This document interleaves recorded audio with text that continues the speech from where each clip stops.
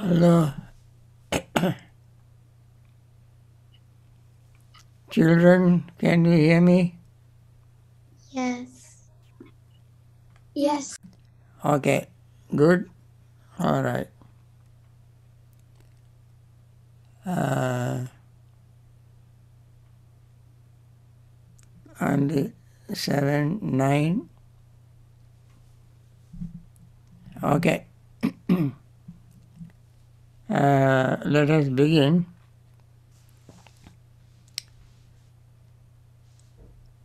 We were talking on uh, right understanding and uh, we came to right mindfulness. And right mindfulness, we have four talks on right mindfulness. Today is number five.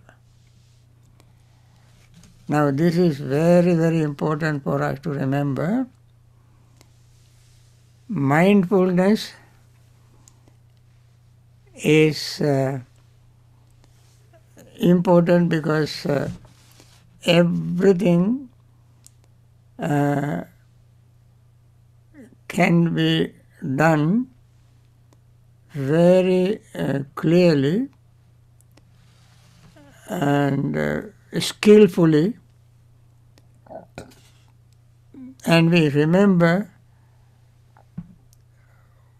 what we learn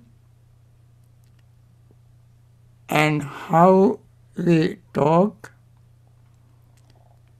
what happened in our mind, all this becomes very clear when we practice mindfulness. Mindfulness uh, traditionally divided into four categories. Four categories.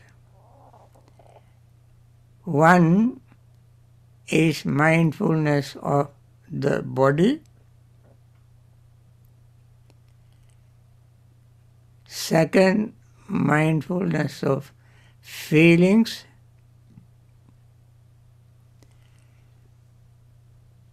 Third, mindfulness of the mind itself.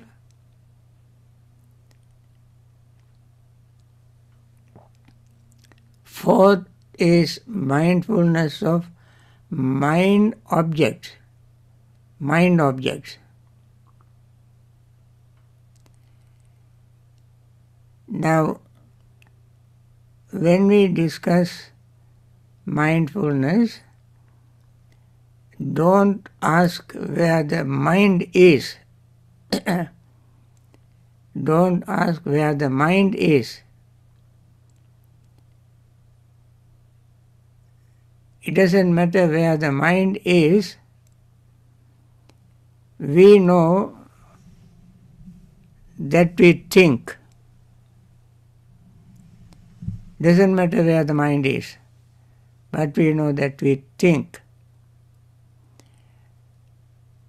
When we train mindfulness, therefore, even though there are four categories of mindfulness practice, all boil down to one. That is training our mind. From all these things, we train our mind. Now, let us begin with uh, mindfulness of the body. We all have bodies. We, under, we, try, we can understand the body in several ways, different levels. At this level, we understand the body through our breathing.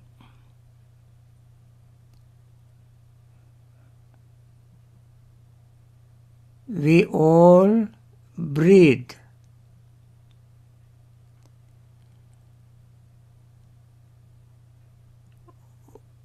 When we breathe mindfully, we pay attention to our breath.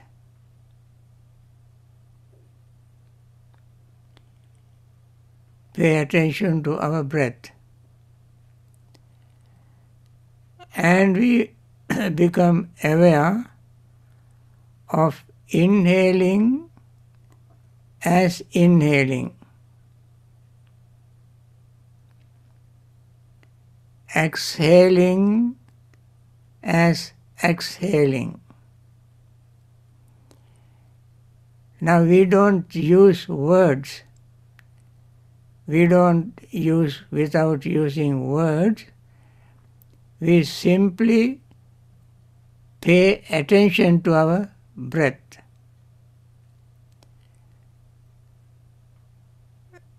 So when we breathe in, we pay attention to our breath, and then we know sometimes our breath is long, sometimes it is short.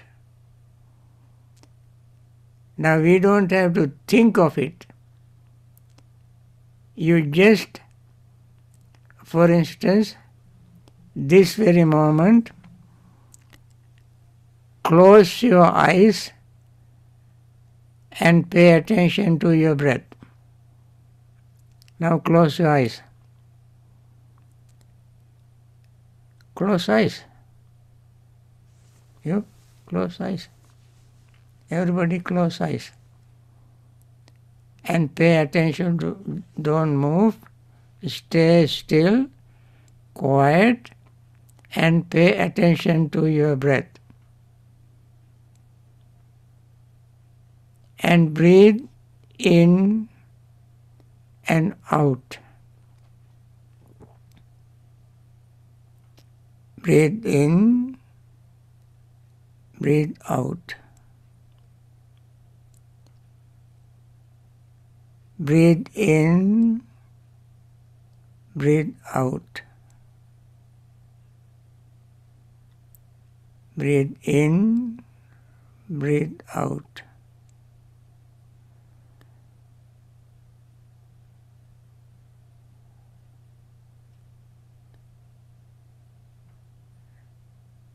Then you can notice while breathing in, breathing out, you feel your breath. You feel your breath. There is no other way to know the breath. You feel it. When you feel the breath, you feel when you take a long breath, you feel that breath is long. When you breathe out, that out breath also is long. When you breathe in long, you know this breath is long, inhaling is long. When you exhale, that exhaling breath also is long.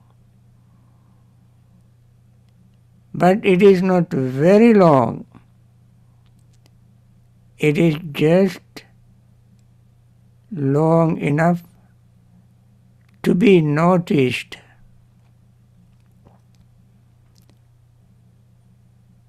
And it is, in fact, breathe, you breathe naturally now, breathe naturally, normally, as you breathe every moment. As you keep breathing like this for a while,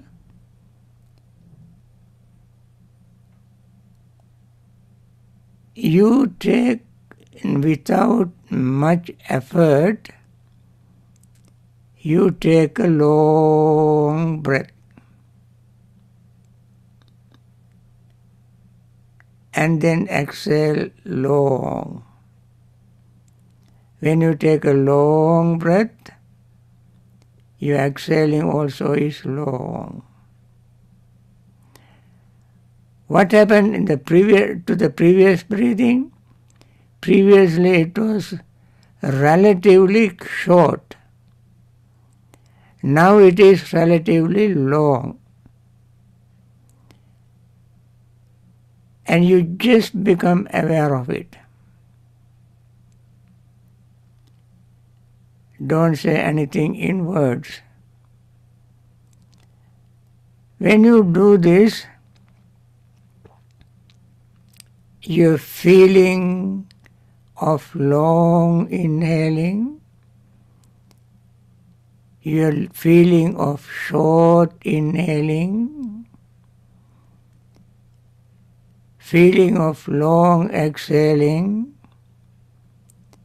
feeling of short exhaling, you notice only through feelings.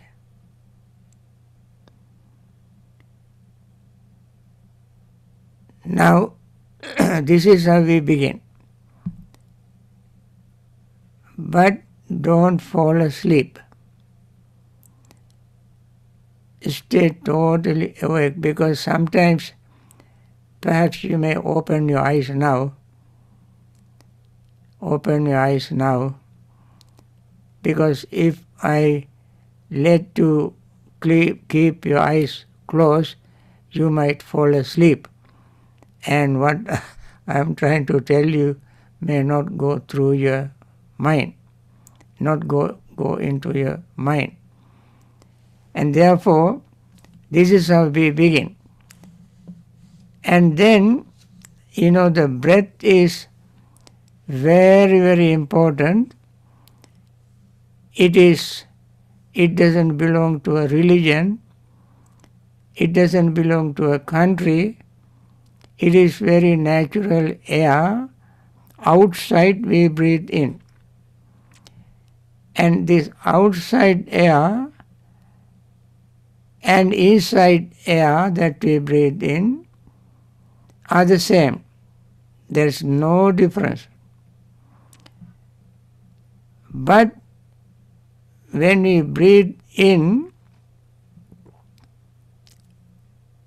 we condition our body. How we condition our body? You know, all kind of conditions are there. Hair conditioner, you, you know hair conditioners? Yes, very well. and skin conditioners. You know skin conditioners? Yes. You know nail conditioners? You know all this. Nail conditioner, you polish nails, you polish your eyes. These are conditioning to make you look different. So, the breath also is kind of conditioners. Conditioner. I bet, can you tell me how breath condition the body? Okay. I tell you how breath condition the body breath hmm, brings oxygen into our lungs. And that oxygen charge our red blood cells with that have no oxygen. And then it goes to the heart heart pumps. When the heart beat with fresh blood cells with oxygen, that blood cells go all over our body with fresh oxygen. New oxygen and charge all the people say we have 56 trillion cells in our body. 56 trillion body trillion cells. And oxygen charges all these cells. Otherwise cells will die and then every time we breathe in, we bring oxygen from outside from the air and charge blood cells, what you call hemoglobins, that don't have oxygen. This body consumes so much oxygen. Every cell lives by oxygen. Without oxygen, cells will die. We will die. So, we bring oxygen into our lungs, charge blood cells that don't have oxygen, and then that blood with oxygen goes to heart, then heart pumps, and that oxygen rich blood cells go round the body and oxygen depleted blood cells come back to heart again.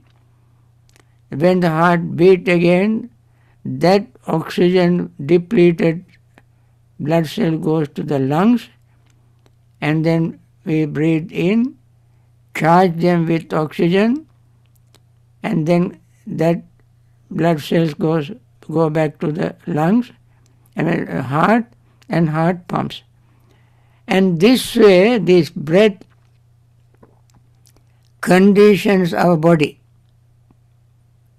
Breath conditions our body through bringing blood, what you call oxygen into the body. This is very scientific way of conditioning the body through the breathing and therefore the breath is called body conditioner.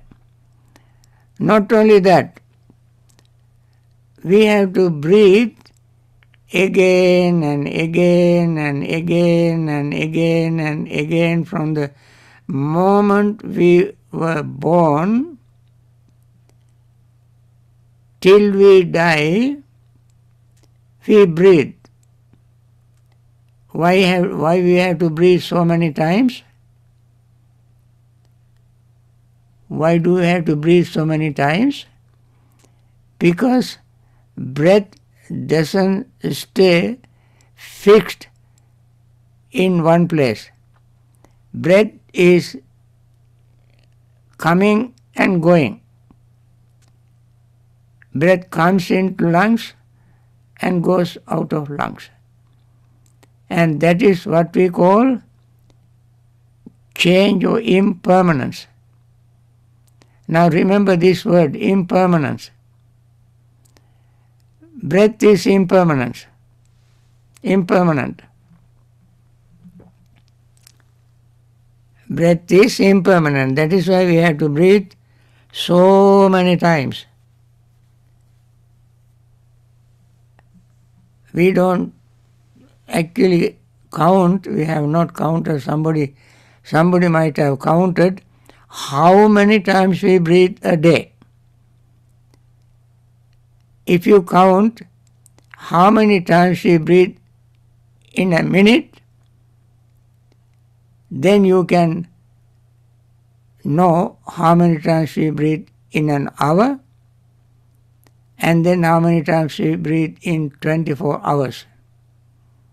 You can easily calculate how many times we breathe in an hour in, in a minute, how many times we breathe in an hour, how many times we breathe uh, in 24 hours. Why we have to breathe so many times? because breath is not, im- not permanent. As breath is not permanent, we also know the oxygen we breathe in also not permanent. This is very important thing to remember. Oxygen we breathe in, we get from the air, is not permanent. So we have to breathe again and again and again and again to fill our lungs with oxygen and refresh or charge our blood cells with oxygen, send them round the, around the body to keep the body alive. So breath keeps us alive. Okay? Breath keeps us alive. You know, these days uh, we people suffering from COVID 19 they die of lack of oxygen. They are hooked up to oxygen machines. Oxygen machines because oxygen is the most important thing in our life. We can stay without drinking for hour or two. We can stay without eating for several hours. But we can stay even two minutes without breath. And yet, breath is so impermanent we have to remember in mindfulness, I, I said all these things for us to understand what we do in mindfulness practice. In mindfulness practice, we under, try to understand this nature of our life, nature of our life. Our life is changing, changing, changing all the time. We change. You all remember when you were little, now you are big. Because we changed. So, in the the mindfulness is divided into four categories. First category is mindfulness of the body. And we see how body changes. Body changes. And there is this a this is a very big subject. I simply want to give you very brief outline. Similarly, our feelings change. You know, one moment we have very pleasant feeling, beautiful feeling, happy feeling, and next moment or sometimes later, we don't have that happy feelings. We have we, are, we will have not so happy feelings. We have a mood change, and then our feelings change. And also we see things, hear things, smell things, taste things, touch things, and think various things. They also change. They always change. So in mindfulness practice, we, one thing we always notice is the changes. If we don't, if there is no change, nothing can we learn. Because when we learn something new, we improve. If there's no, it, nothing changes, we neither can learn nor can we improve. So, changes are very important. Then, uh, I mentioned our uh, we have to be mindful of uh, what is happening in our mind. That means when we get angry, when we get angry, where do we feel anger? In the in the mind, not in the body. Right? When we feel, when we get angry, we feel the anger in our mind. When we are mindful, as soon as anger arises, we become aware of it, we become mindful of it, and we see anger does not make us happy. Okay? Anger does not make us happy. Anger may make us very, very unhappy. So, with mindfulness, we see that. We want to see how anger arises, how it makes us unhappy. If you do the same thing again and again and again, you will be very, very angry person. If you get angry very often, and keep repeating it again and again, then you will be a very angry person. Angry person is so unhappy. People don't like to associate with angry person. So with mindfulness we see this. With mindfulness we see this. And therefore we try not to let anger arise in our mind. We practice patience and we see anger is hurting us, therefore we do not want to develop anger in us. Or when we are too much greedy, when we are greedy, we are unhappy.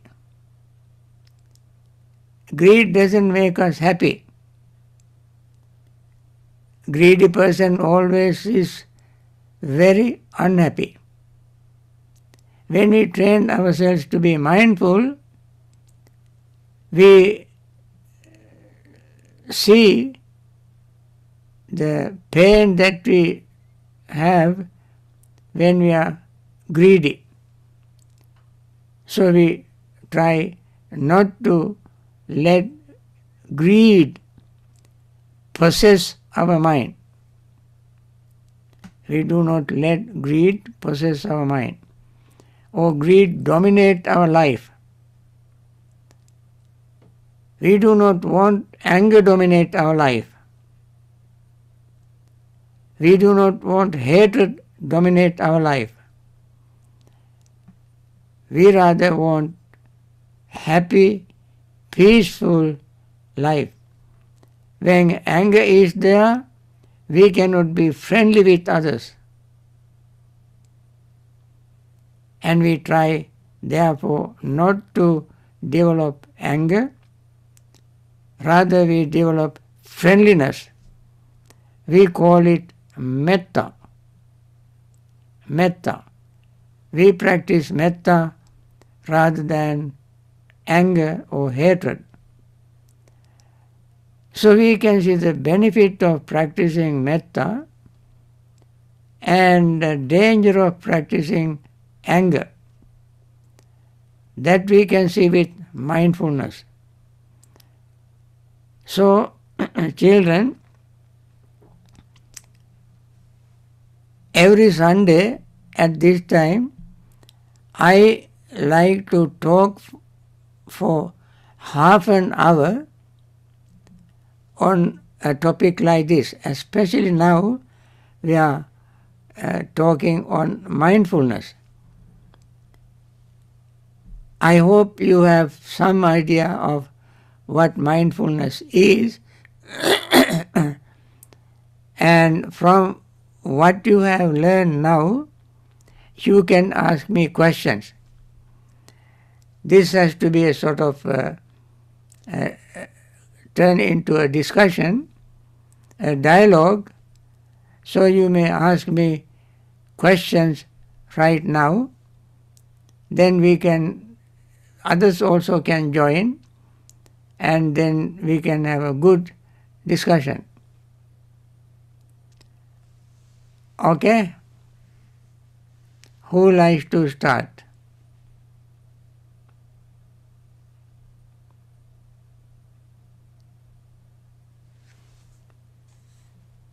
Okay? Anybody?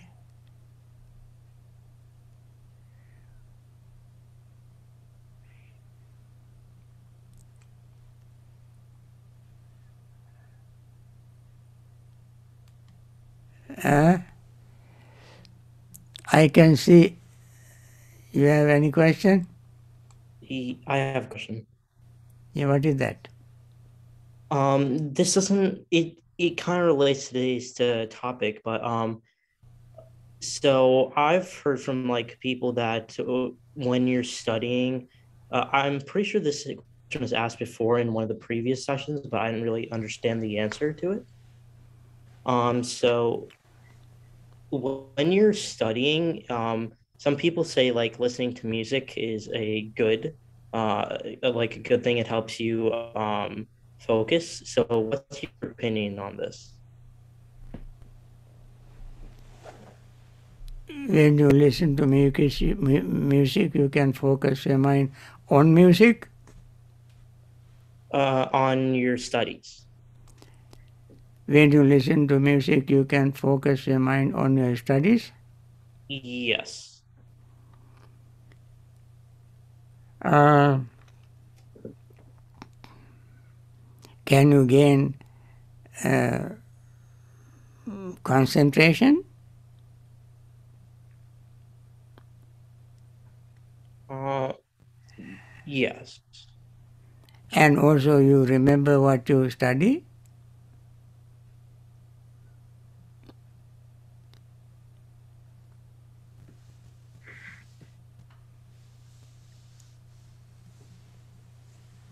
Is it is it easy for people to listen to music and study at the same time and remember uh, what they study? And uh, I think if we uh, clean the mind, what the mindfulness does is my, we clean the mind. When we clean the mind, then we will not have stress in our mind. You know, when you listen to music and study, your uh, understanding may not be, be very deep. If you be, become mindful at that time when you study, uh, you can focus very well and uh, your mind will be uh, very relaxed, not too many things going into the mind at the same time. When we put so many things at the same time, mind gets stress. You, you feel stress and then you will have a very difficult time to deal with other regular things. But if you uh, practice mindfulness and clean the mind and study, the mind does not have so much stress. I think, therefore, for this reason, practice listening to music and so forth, uh, you may do for calming, relaxing, and so forth any other time. At the same time, practicing mindfulness is uh, far better to clean the mind and reduce the stress. there are very learned people who have developed uh, meditation or teach meditation, use meditation, practice meditation, especially vipassana meditation, to reduce stress.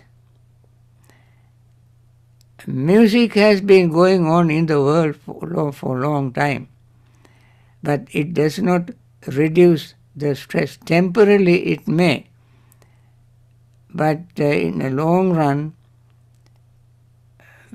to reduce stress, one must practice meditation. That's, uh, that has been proven psychologically, scientifically proven mindfulness is a better way of reducing our stress.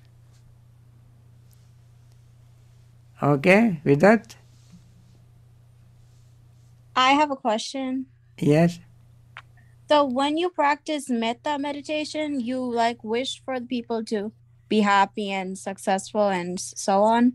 So when you do that, how can you like actually know that these people will uh, attain nibbana? These people will um, like be successful, be happy, well, peaceful. How do we really know that that will happen? Because isn't it really dependent on the person you're doing metta for? Okay, this is Anudi.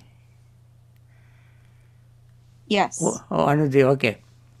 It's a good question, Anudi. When you practice uh, metta, honestly, we practice metta for ourselves. We want to keep our mind clean. We want to fill our mind with metta. We really don't know whether other people receive metta or not. By wishing, say, uh, for instance, you say, I hate so and so, I hate so and so, I say so and so. That, per- that so and so does not know what you are doing. That person is not even within your sight. That person may be somewhere else. But when you repeat the word or thought in your mind, I hate, I hate, I hate, what will happen is you are full of hatred. You are full of hatred. Not the other person. You don't know what happened to the other person. Similarly, when you practice metta, it is your mind that is filled with metta, and you feel uh, calm, relaxed, and peaceful. You know, only the one who practices metta can have the benefit of metta. Like when you eat, you feel the taste and you get your stomach full and you satisfy your hunger. You cannot eat for somebody else. It is exactly like that. If you practice metta, you feel peaceful, you will benefit. There are 11 benefits of practicing metta. Uh, let me, since you asked me the question, let me mention these 11 benefits. I don't know whether I told you earlier, but let me mention them now. Number one is that you can sleep well. You can sleep well. If you practice metta, you can sleep well. And of course, people who are very tired coming after work and this and that, uh, young people and so they can sleep well. But well, sleeping well doesn't mean just you are just going into bed and fall asleep like a rock and get up next morning and grouchy, grumpy, and Um, and so forth. When you sleep well, you are really mind is in real rest. And therefore, in the sleep, you will not have nightmares. Number two, you will not have nightmares. Number three, you get up well. When you get up well, you, are, you feel so fresh. You don't grouch, you don't grump, you don't have uh, uh, sort of uh, bad mood. You are very like very much like a flower, opening, fresh, clean in the morning. So three benefits. Sleeping well, not having bad dreams, nightmares, and getting up very well. Then you will your fa- you will be pleasing to others. Number four. Number four is you will be pleasing to others. That means others like to see you because you are pleasant, your, your appearance is very pleasant. Then, you, number five, you will be uh, very, you will be pleased, pleasing to non-human beings. Non-human beings like animals, divine beings, and so forth. For instance, when you practice metta, you can talk to your dog or cat or uh, even plants with a very relaxed state of mind. You have this benefit. Then you will be protected by divine beings. That's number six. Protected by divine beings.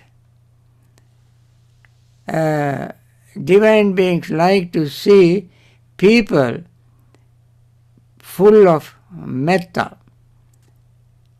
Because you practice metta without any condition. And this also is called unconditional love. You don't practice metta because somebody else does some favor to you. But you practice metta irrespective of what the other person is, what the world, how the world is. World has 7.8 billion people. They are all different types. And uh, we even don't know them. But when you practice metta, without any condition, even divine beings loves you, respects you, uh, protects you, and uh, because you don't have anger in, in you when you practice metta. And then you will not be affected by greed, hatred, and delusion. They are called fire, poison, and weapon. Fire, fire of anger, fire of hatred, fire of delusion, you will not be affected. Or fire, greed, hatred, and delusion also is called poison. Your mind will not be affected by poison, poison of greed, poison of hatred, poison of delusion. Your mind will not be affected by weapons. What is the weapon? Weapon of greed, weapon of hatred, weapon of delusion. These are very, very negative mental states. They will not affect your mind. You are very, very peaceful. Then, uh, when you, number nine, when you practice metta, you gain concentration very easily, very quickly, because the mind is very clean and pure. You practice metta without any ulterior motive, just for the sake of practicing. Number 10, as a result of all these things, when you, if you do not attain uh, nirvana or uh, other level of enlightenment like uh, stream entry and so forth, if you don't attain any of them, you will be reborn in Brahma realm. That is the number 10. Number 11. So these are the 11 benefits of practicing metta.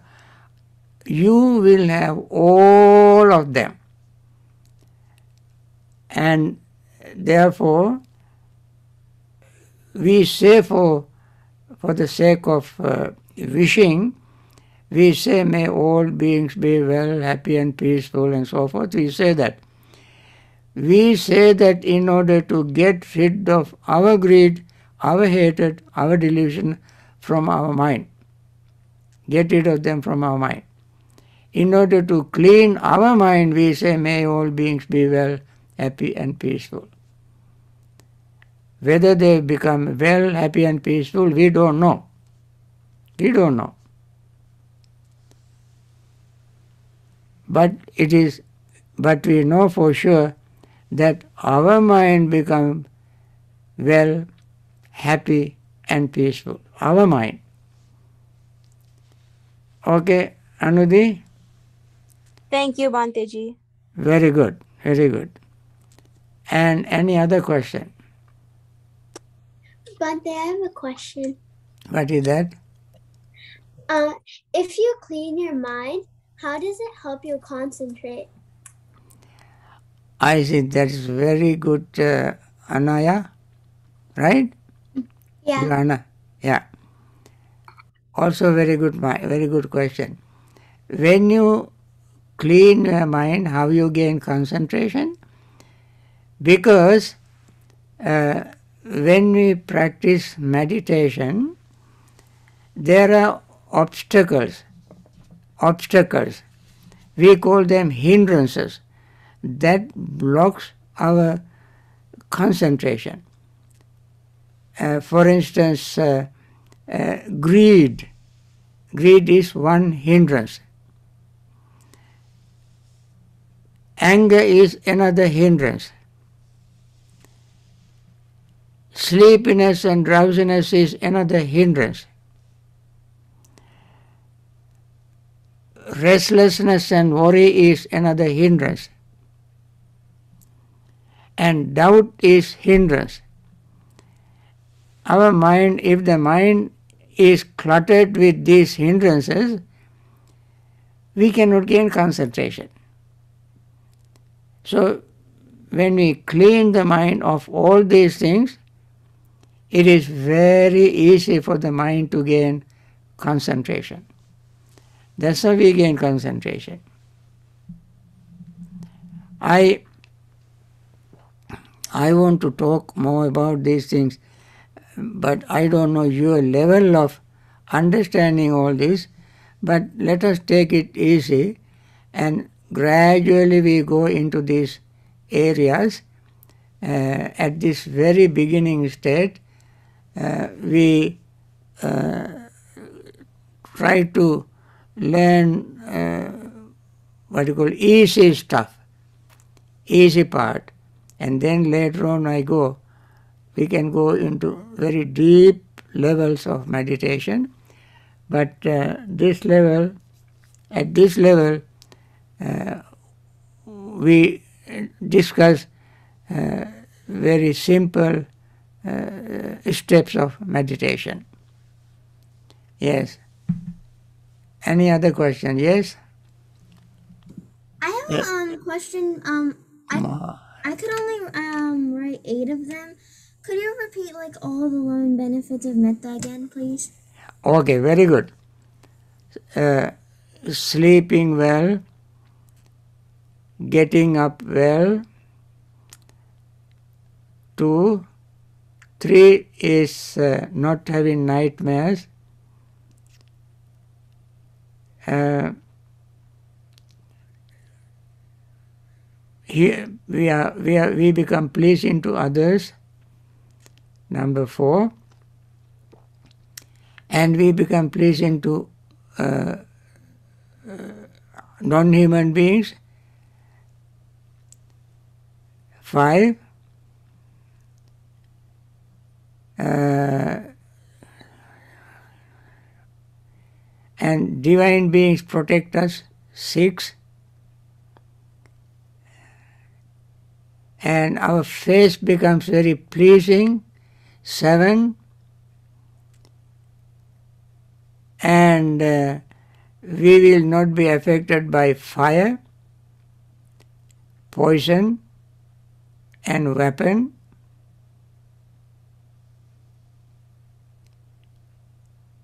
Three. Then how many? Altogether, I have nine. Altogether you got nine. I have you can sleep very well.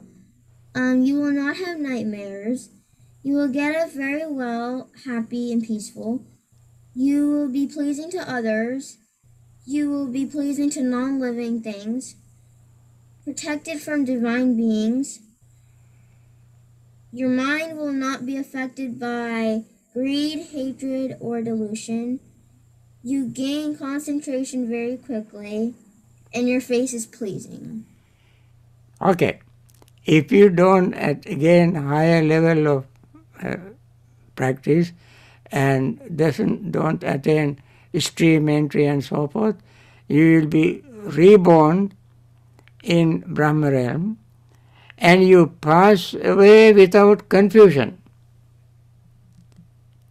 You pass away without any confusion. That also is a very important benefit.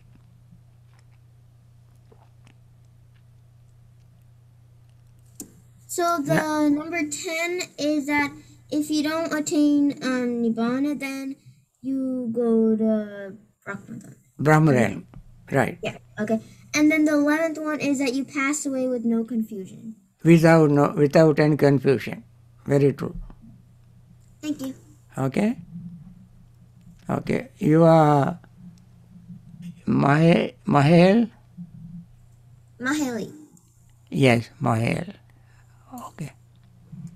Okay, very good question. Anybody else has anything else?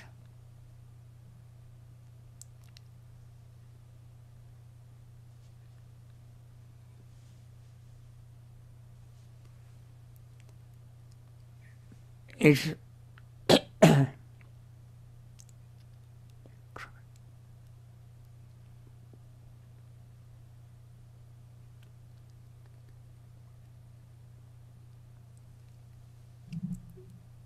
you know, it's a, a practicing metta is so important that suppose there are you plant two two trees, you plant two plants uh, side by side, maybe about ten feet apart, and you put you water it, them every day at the same time, you fertilize them, you have uh, enough sunlight to them, and uh, uh, you put uh, nitrogen or whatever and, uh, necessary for the plants, you treat them all equally. But you talk to one plant in a very rough, harsh, angry way every day. And you talk to another plant, the other plant, softly, gently, kindly, then you will see the one that you spoke to roughly will not grow very well, will not uh, produce very good product, produce. And the other plant that you talk very gently, kindly, softly will grow very well. You have, uh, Mahali, you have another question? Yes? Yeah, so one of the 11 benefits of metta is that you will be pleasing to non living um, Non, things. non, non-human beings. oh, yeah, non human beings. Yeah. Human. Like animals, cats and dogs and so forth. Yes. How, like, how do they know that you're pleasing? Because they Ah, don't know that you're doing metta. they don't know that you are practicing metta, but they know when you get close to them, your body vibration, your body vibration is very peaceful vibration. When you are angry, the vibration is very rough. And these animals have a very, very sharp sensitivity, sensitivity. And therefore they can sense uh, your anger or your loving friendliness, metta. I have seen this very well, very clearly. Yeah. You. You're welcome.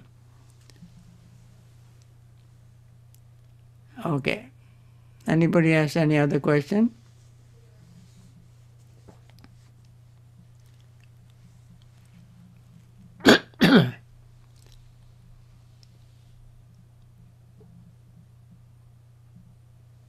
Okay.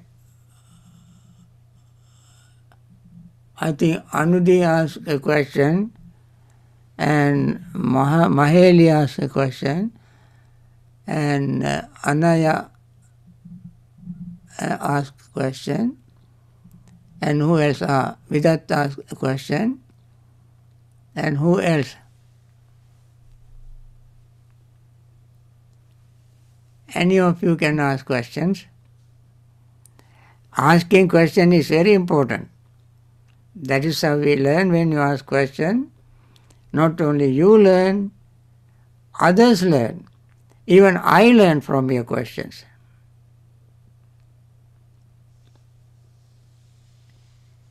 So, and also I must tell you, asking question is, uh, yes, one more question, yes. Heidi?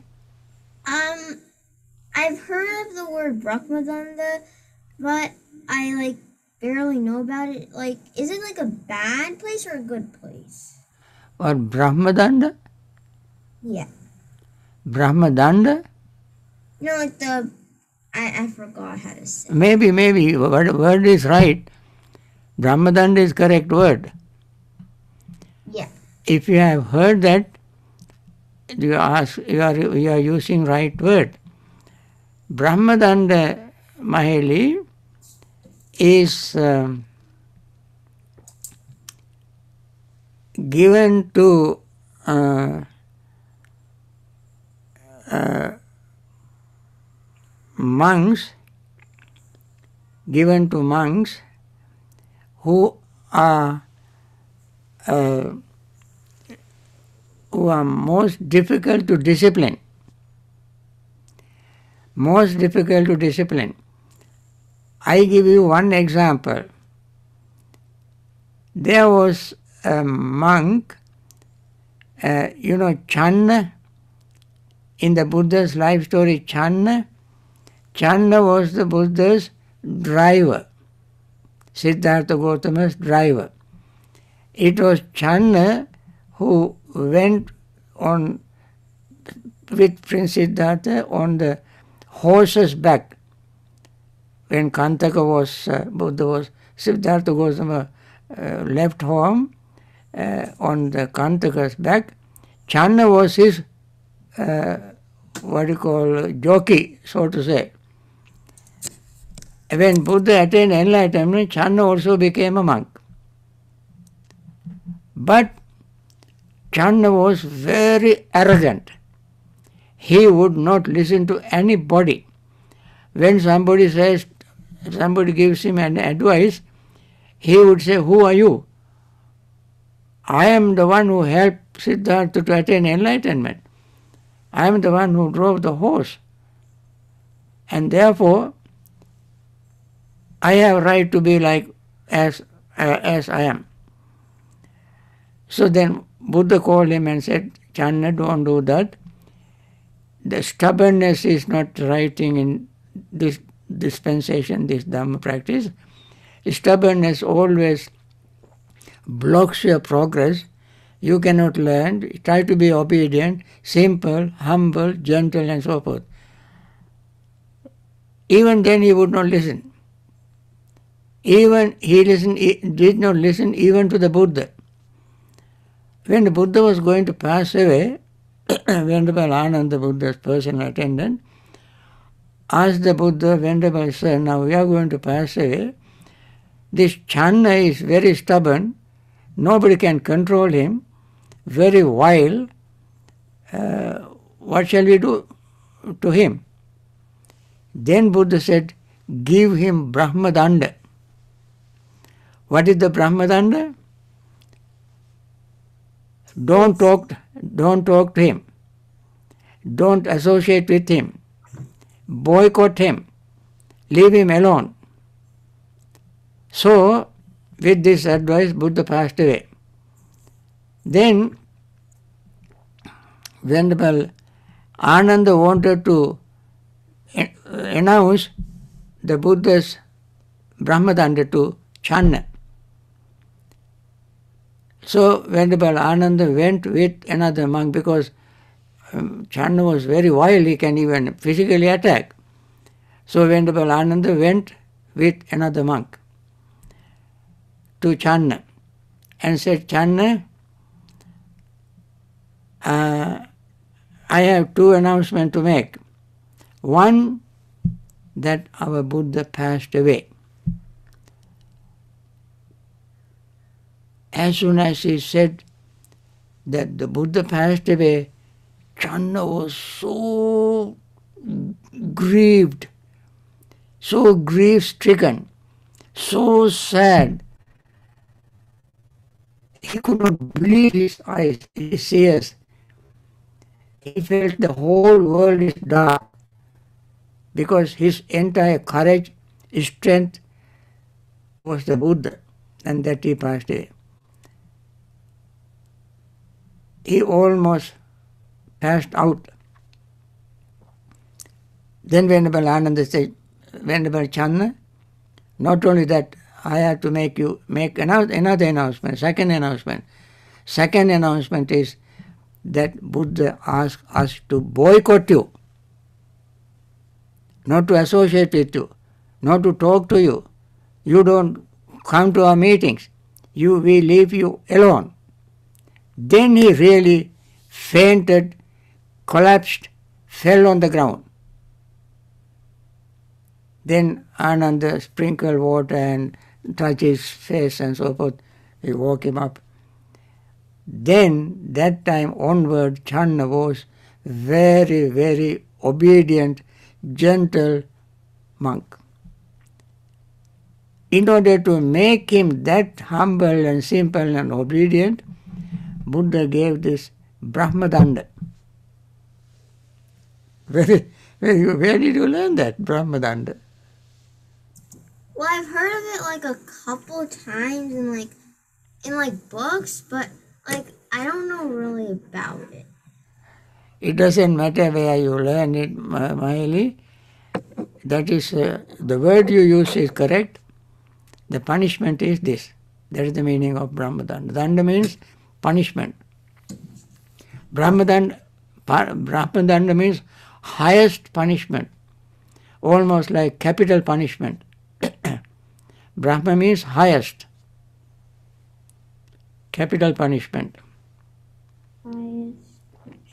Okay. Okay, very good. Thank you. So you all ask good questions, and the, we want to close this session and uh, see you next week. Okay, bye. Thank you, Bhante. You are welcome. Saturday, Swami Yeah, Okay, Bye. bye. Saranai. Udusaranai.